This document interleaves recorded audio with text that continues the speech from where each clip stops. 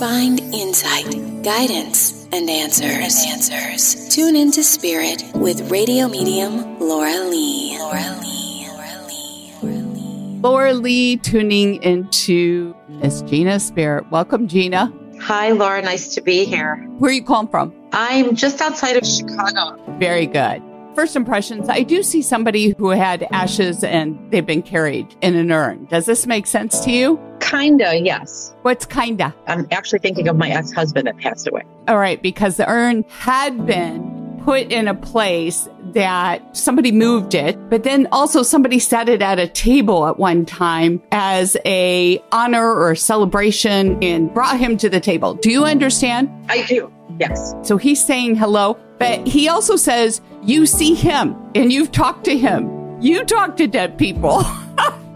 I do. All the time I do. I believe that they can hear me. Oh, they can absolutely hear you. But anyway, he's telling me there's something about a certain date and a number that keeps appearing. And I don't know if that's associated to him or another spirit. It's associated to me. I see the number 818, which is also my date of birth, all the time. 818. Yes.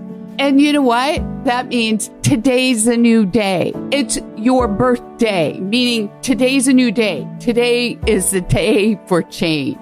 Mm-hmm. It has been a long time coming. And it feels like from what they're telling me here, it's as if the message has been getting across to you to make some changes in your life. And it might even be just simple little things like, I don't know if you're thinking cosmetically, but also weight wise. A little bit of everything. Right. And then also changing maybe even your direction as far as work is concerned, correct? Yes. So this is my impression with all this. And I've heard this before with other people about getting their birthday constantly.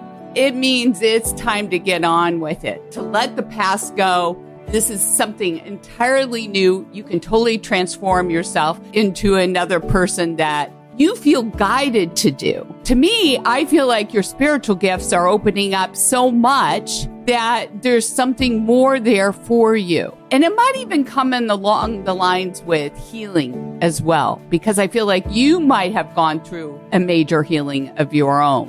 Mm-hmm. I have, yes. And I don't know if you've considered exploring classes or if you're any type of classes. It could be online or in person. Does that make sense? It does, yes. That explores this particular area Okay. In contributing those abilities back to others who are going through similar things you have already been challenged with that you can shed light on Okay. and help others. Does that make sense? It does make sense, yes. They also show me, I think this is you riding a bike. Did you have a bike? I don't right now, but I've definitely, you know, ridden a bike in my lifetime, sure. Have you recently or have you thought about riding a bike again? In the vein of exercise, I have, yes. So they're sharing this with me because that's a good start. Okay. And now I know you're in Chicago and winter's coming, right, yes, which would definitely mean I can't ride a bike. but you know, we have some warmer weather sometimes, surprisingly, right? you never know. So you jump on that bike. That's a good way to start. Okay.